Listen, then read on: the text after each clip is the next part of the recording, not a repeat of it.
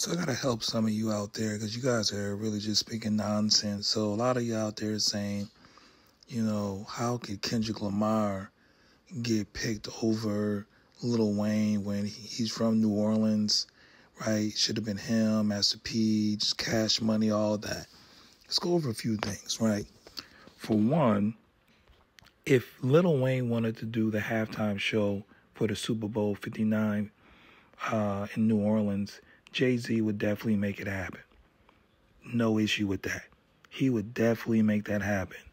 Obviously, Lil Wayne probably doesn't want to do it because he's doing. He's already going to be doing the um, Hot Boys reunion tour, uh, which is going to take up a lot of his time. He's already stated numerous times that he's a huge Green Bay Packers fan, um, and who knows, he might, you know, do a song at the at the um, you know arena that day. But as far as taking on that entire performance while he's going to be touring and doing a lot of other various things, they said him and Skip Skip Bayless are going to be doing a podcast.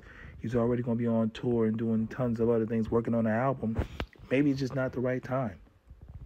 So I just think a lot of people just really need to just let Kendrick Lamar have his moment. Um, and again, you guys don't know what's going to be in, you know involved in the mix in regards to uh, who will be performing at this show. So, honestly, me personally, I think that right now Kendrick is you know number one or number two in the game right now, and they're moving with the times. But I just no way think that it wasn't possibly presented to him of saying, hey, Lil Wayne, you want to do this? I think Jay Z would definitely make that happen for him. So calm down, folks. Um, I know it makes sense for it to be in New Orleans and for it to be Lil Wayne, Baby, uh, Juvenile, BG, Turk, uh, Mannie Fresh, and all that. But again, you don't know. Those guys might all be in the mix. Uh, so just hold off. again, Drake, man, this is not uh, looking good for you.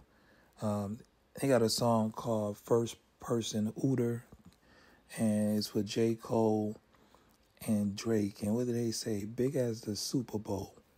Well, guess who's going to the Super Bowl?